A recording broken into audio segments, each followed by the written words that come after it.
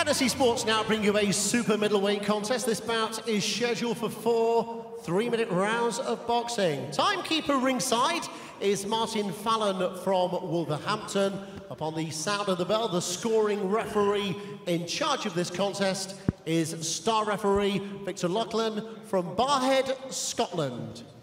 Boxing out of the blue corner, on the scales officially at 11 stone, 7 pounds 12 ounces, standing in the ring with a career wins of 15 to his credit. This evening he's wearing the black shorts trimmed with white and boxes out of Stourbridge, West Midlands.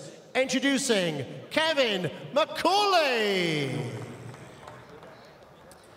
And across the ring, boxing out of the red corner, stands his undefeated opponent, officially on the scales, at 11 stone, 9 pounds, 1 ounce. Eight fights, seven victories, and one draw make up his record. Wearing the black shorts trimmed with gold and boxing out of Birmingham. Introducing the body breaker, Idris Virgo.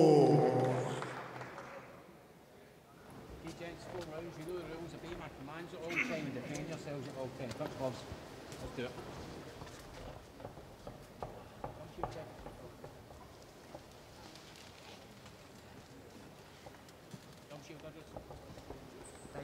For the first round.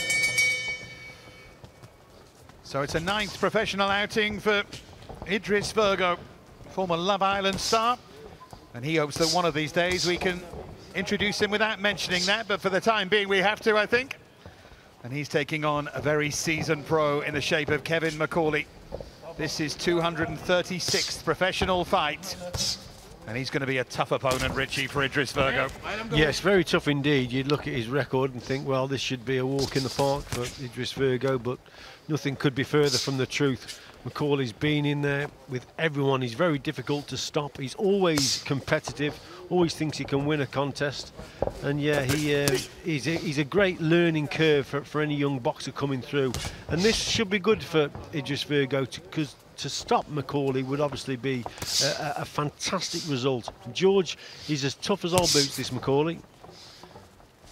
He started well behind the jab, a long, long jab, and he's pulling back off of it, and he's giving um, Virgo something to think about there in the, in the very first round. Virgo calls himself the body breaker, and of course he has a big social media following after the appearance on Love Island. He's involved in a little bit of controversy as well, showing disrespect to opponents. But actually he's quite a grounded individual. A lot of it is for show, and he just wants to get better as a boxer.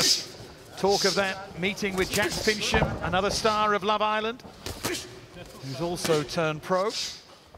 And that one just being put on ice for the time being. Looking for those body shots already, though, Virgo. He's doing okay up to now, Virgo. He's, he's varying his work behind the jab and looking for that left hook to the body. We spoke about McCauley, how experienced he is.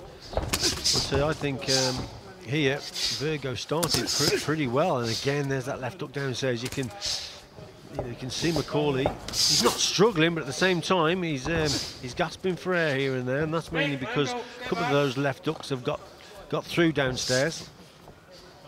That was a, a left hook against Josh Hodgins that had everyone talking.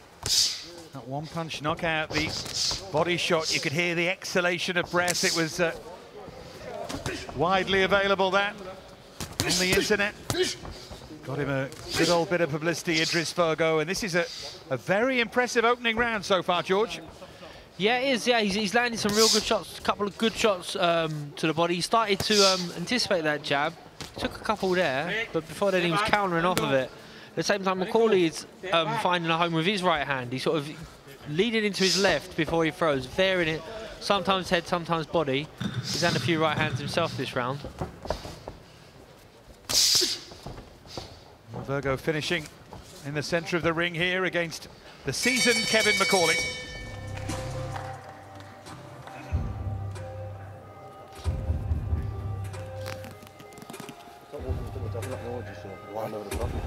No singles.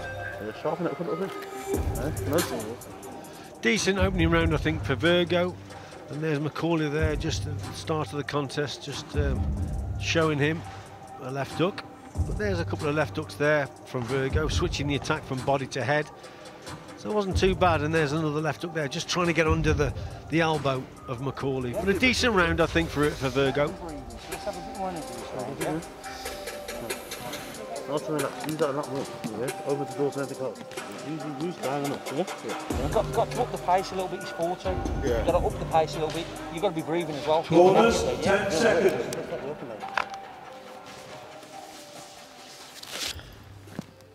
Seconds out, round two. You could hear John Pegg in the corner there say, you've got to up the pace a bit.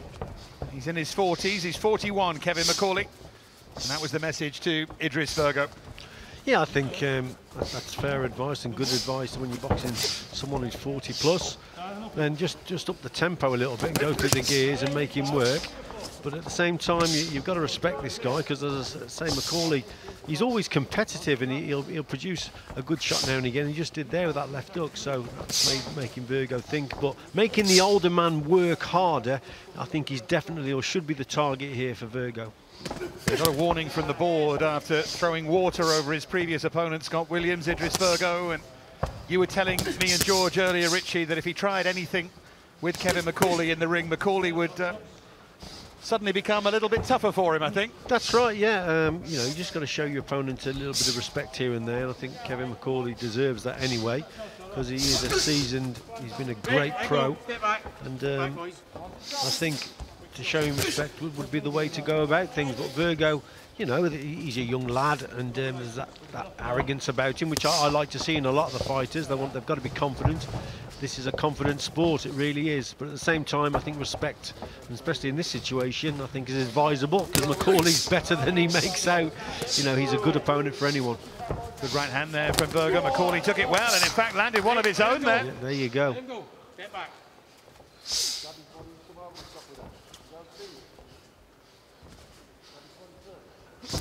Throughout this contest, Virgo has that low left hand, doesn't he? And, and McCauley just caught him. Peach of a punch. Good right hand that was George, wasn't it, from McCauley? Great right hand. He punches through the target. Oh, oh, he's got caught there with a big left hook.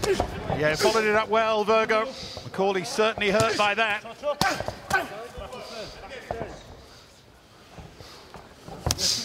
Look to the body again, Virgo.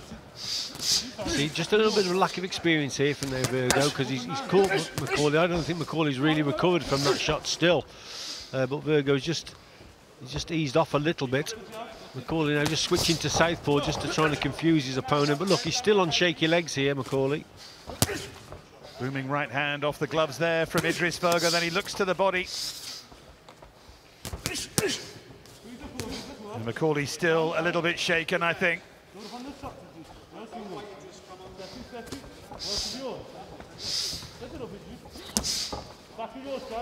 To McCauley, very experienced in terms of just slowing things down. And Virgo just fell into that trap there and just eased off the pace a little bit. And that's suiting McCauley just to recover. I think he has done now. It is like a learning process, uh, Richie, and he's you can't. He seems like he's waiting for that perfect shot rather Yeah. than creating that perfect shot.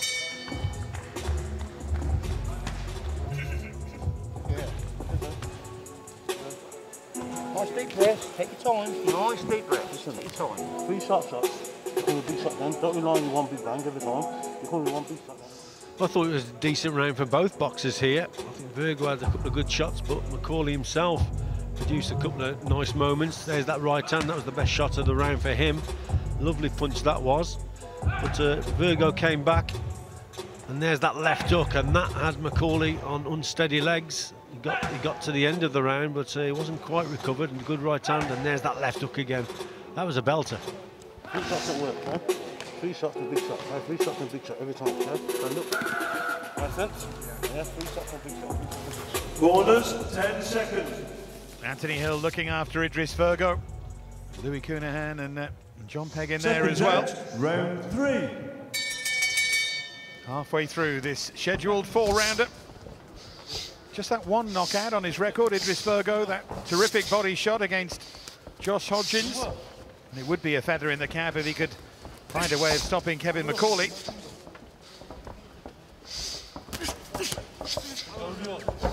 I can't believe George, Kevin McCauley didn't sit down at the end of that round. He took that big shot towards the end of the round, got back to his corner, and I don't know whether, whether the, where the store was, but uh, he, he he decided to stand up, or his corner made him. Incredible. I used to love my stall, Richie. I used to Same here. Uh, you know, there's a corner, the, the seconds in the corner's getting sacked if that stall ain't in there by the time I get back. Insight from these fighting men. Some fighters do prepare to stand and stretch and maybe stay loose.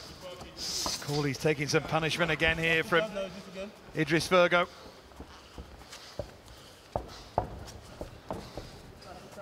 the balances for him to get right. You can't uh, argue about the social media profile and all that comes with that. And of course, he's trying to build that, but at the same time, he has to get better at the sport. He's got to get that balance perfectly, Idris Virgo. He's going to march on and have any kind of career. What he's got to watch out for here, Dave, is, is that low left hand, and as he's moving around to his left, and he, he, just he could walk onto a, a right hand over the top, you see, and that's McCauley's already thrown it once, a good shot. As I say, that that's a belting shot from Virgo. That's the best right hand he's thrown in that in this contest so far. Well, that was a little bit low. That left hook to the body. And, uh, see, Victor Loughlin's going to give him time to recover. And just a little warning there for Idris Virgo. It was close, I think. I mean, he's as hard as nails, he's, he's Kevin McCauley. He took a good right hand just before that, and then one shot just straight low. There's the right hand there. Now watch now as he backs him up. Oh, right, right on the, the belt, isn't it? And you know, he's not one to complain, Kevin McCauley. I thought that was okay. Yeah, just on the belt line, isn't it? But the referee said it was a low shot.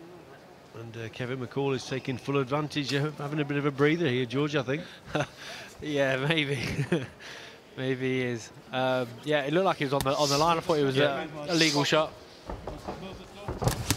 It's a strange one because sometimes in football you say let the footballer referee the game and judge it from his reaction rather than from the challenge. And I think that was one of those. Victor Loughlin saw the reaction from McCauley and, and sort of went with it. Anyway, they're all smiling. Virgo's going for it now, isn't he? He knows he's hurt McCauley. He's really up the pace. This, that's got he's got, got to watch out for. He's drifting round to the left with that low left hand. He's got to watch what he's doing here. He's going for it, but he's leaving himself open as well. Stay, let him go. Stay back. Let him go.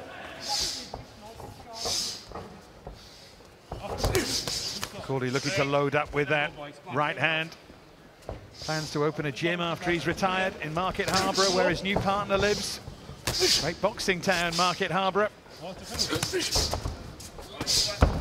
he still wants to fight on. His license runs out next March. He wants another year. Says he loves boxing and he gets the same buzz every time he goes into a ring. Like a drug for some of these fighters, isn't it? Certainly is for him. Yeah, I admire him, I really do. He probably his aim will probably get to 300. I, I would have thought 300 contest, but yeah, he's done marvellously well. Nice deep breaths. Uh, no stool again. Slow deep breaths. Hold it, let it out slow. Good lad. One Mario more. Kindelán was the first person I think I ever noticed standing up between rounds. Um, lots of the Cuban amateur boxers uh, wouldn't sit down between rounds. Um, don't know if it was an intimidation thing or they just saw it as kind of pointless. Um, they, they, most of them didn't need to stall either.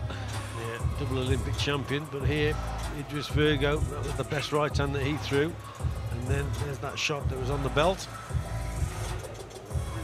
And I think the referee bought that, didn't he, from uh, McCauley. He wanted a bit of a break, the lad did. Drop it down to the body, goes to the side. Freeze up the finger, put it back on it, start away. Just a round to go here for Corners, 10 Idris. Virgo. We're looking for marks out of 10, I'm sure, as he progresses. Seconds out for the fourth and final round. Certainly got a lot of respect for Kevin McCauley, as we all have. He'll hope that 2021 is going to be a big year for him. He's got the potential of terrestrial television, got a seasoned promoter behind him. He's got the, the star quality from another television show.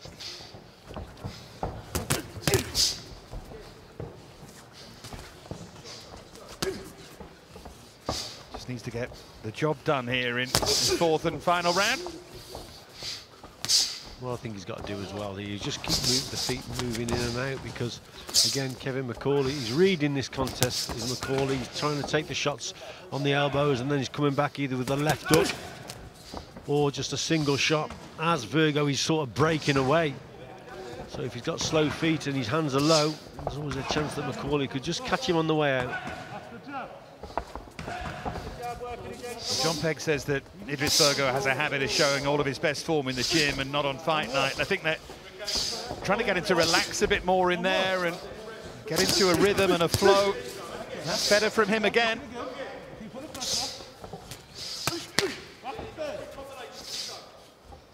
He's trying to force the stoppage here, George, I think, if Virgo going with these big shots. Yeah.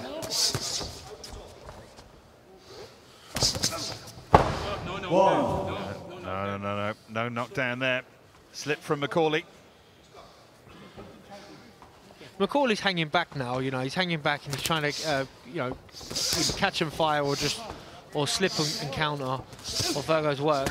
Virgo, the round before, he was pressing with his feet but dropping back and countering himself. Now he's trying to dip just like that. He dips on over the front foot, Hey, let him go. Step back. but he's not able to generate any power on the backhand from that head defense. Well, final minute of the contest here. Virgo hopes to finish strongly. Let him go. Definitely exciting times to be part of this setup. I wonder what's in store for him, but of course this sport's all about levels, and he is going to have to improve as he as he moves up. Idris Virgo, there are plenty of faults there, Richie, that potential opponents would look at. Yeah, especially with the left hand it's, uh, as low it is and the way he's coming forward and drifting round to the left, then other boxers and other camps will pick up on that. Just that right hand over the top that he could walk onto. But uh, now he's finishing this contest very well indeed. Well, could be a mark man as well, won't he? That's the other problem as we head into the final 10 seconds here. Yep. Hey, let him go. Let him go, boys. Kevin McCauley survives again. This will be 55 defeats in a row without a win since November 2017, but he's impressive in an entirely different way, George, isn't he? Kevin McCauley. Well, there's a, there's an art to it. There's definitely an art to, to losing at uh, you know at this level. Um, riding the shots well, uh, getting yourself out of danger, and doing the job. Let's be honest. Is, you know, he, his job is to, is to, is to improve prospects. You know, prospects are in there to learn and develop. You can't throw prospects in the deep end, and you, need people like McCauley to, to bring them along, show them something new, something different, something they probably hadn't seen before. It's the only way you get to the top. Yeah, decent work out there, I think, for um, Idris Virgo against a solid campaigner in McCauley, who's, who's tough as anything. Yeah, he, he will have learned a lot from that, and it's a learning process that you know it's a road of learning that he's on, Dave. Absolutely. Well, that learning process continues. I'd be surprised if it's not all four rounds for Idris Virgo, but we can find out officially from our MC, Paul Booth.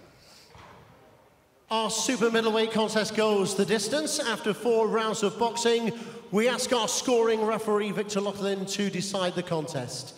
He has it at 40 points to 36 points in favour of the winner from Birmingham, the body breaker, Idris Virgo.